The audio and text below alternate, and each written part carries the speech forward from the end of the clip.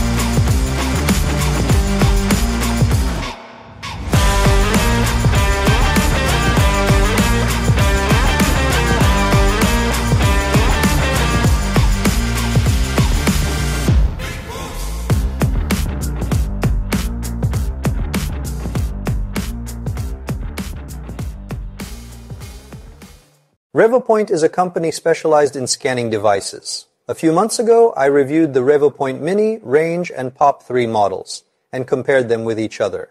Each of these models is a 3D scanner designed for various and different usage purposes with different capabilities.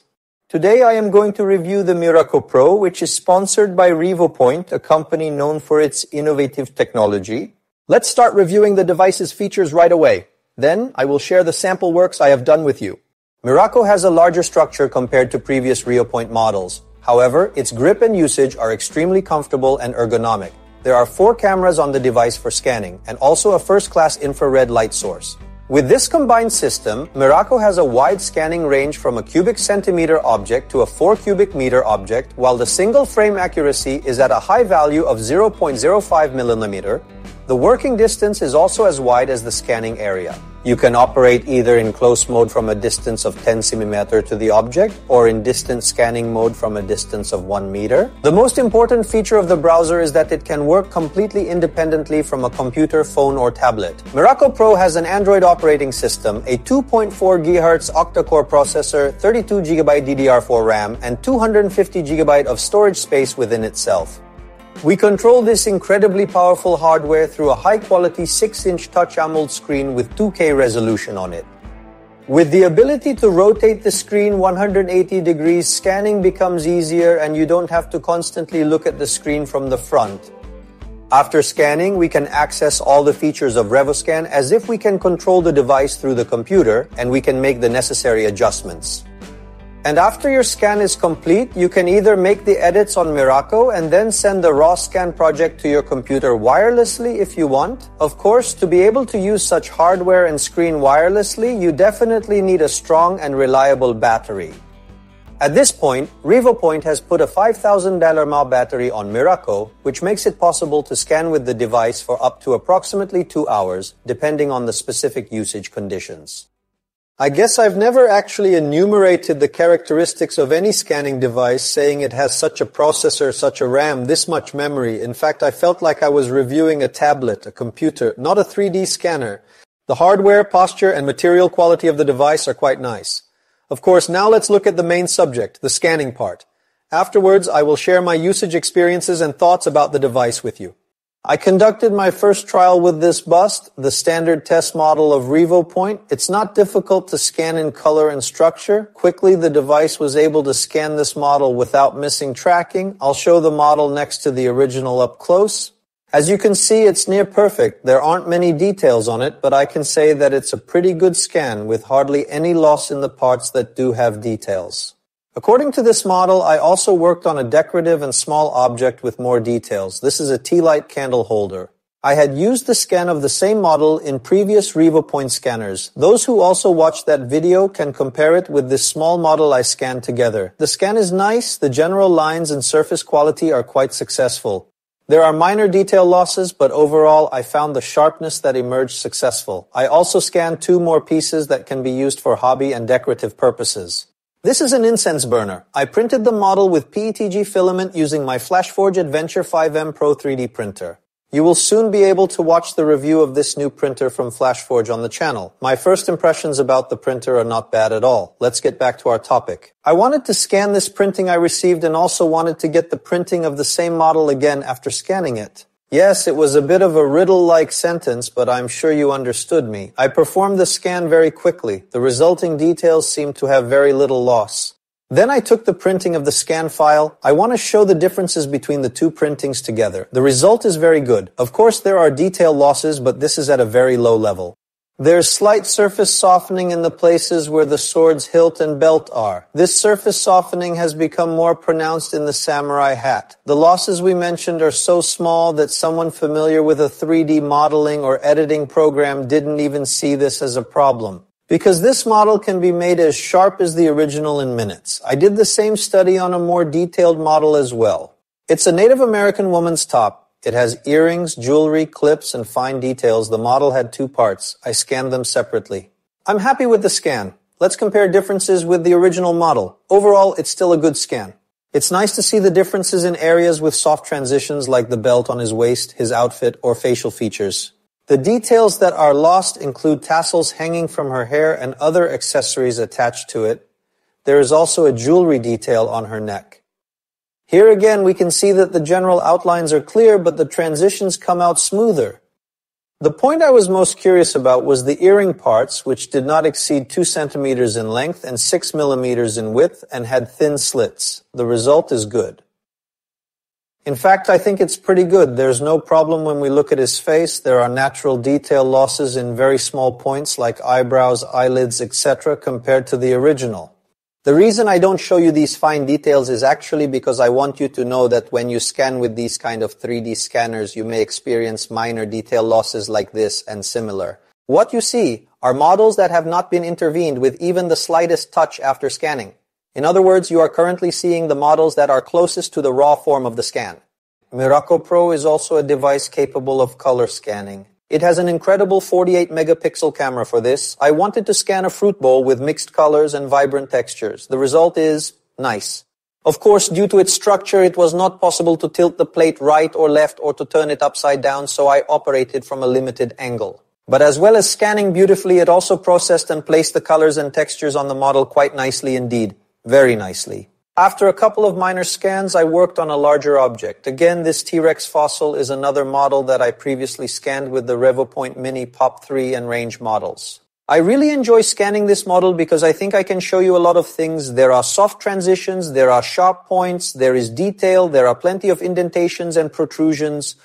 Scanning the model was enjoyable. Miraco Pro rarely got stuck and did not lose track. The scanning surface is nice and there is no noticeable loss of detail in the indentations and protrusions. The small indentations and protrusions on your lower jaw or under your teeth are quite noticeable. I think the part that needs the most adjustment on the scan is between the teeth. Of course, the fact that I scan the larger object in far scanning mode and then automatically fill in the gaps to the scanner also has a big impact. When I look inside, I can still see that it needed very little automatic filling despite detecting and scanning the depth from a single point. By the way, one of the most important features that I think distinguishes this device from previous RevoPoint scanners is the presence of both close and distant scanning modes. We can work on small objects like the previous one in close mode, but when we switch to far mode, we can work on objects like this and even much larger ones. And the even better point is that we can very easily switch between these modes as needed and seamlessly during the scan. Speaking of scanning in far mode, I want to show you another big scan I'm working on immediately. I have a small scooter. I tried to scan its saddle. There are some difficulties encountered somewhat while scanning a vehicle part. Firstly, if the environment is too bright or you're under the sunlight, you have a tough job because there is too much reflection. Apart from that, when scanning vehicles like a car or motorcycle, there are many areas that are light, dark, or transparent. These are also factors that make scanning difficult. Despite various difficulties and the dark color of my scooter, I am still satisfied with the result I got. In fact, I actually started to really scan the seat and thoroughly continued towards the side body, and I think I got a really nice scan it's difficult to do without disassembling the parts, eliminating reflections and glares, and setting up the right lighting conditions. The feasible way to do this job is to remove that part and thoroughly, carefully, and meticulously scan it. I couldn't disassemble my engine, unfortunately, sorry about that, but I did actually remove a vehicle component for you and worked on it. What you see is the fog light frame of a vehicle. It's quite a difficult model to scan because it's both very thin and has a lot of indentations, protrusions, and sudden depth changes. On top of that, it's also black. Because it's hard to scan black and dark colored objects, it's necessary to whiten the surface of the model. I use dry shampoo. This material comes off when you wash it and doesn't leave a residue on surfaces. You can also use a 3D scan spray, but I used dry shampoo to come up with an economical solution. Powdering the model could also be one of these options. After making the surface matte white, I performed its scanning. This was the part I struggled with most. I scanned the model from many angles multiple times.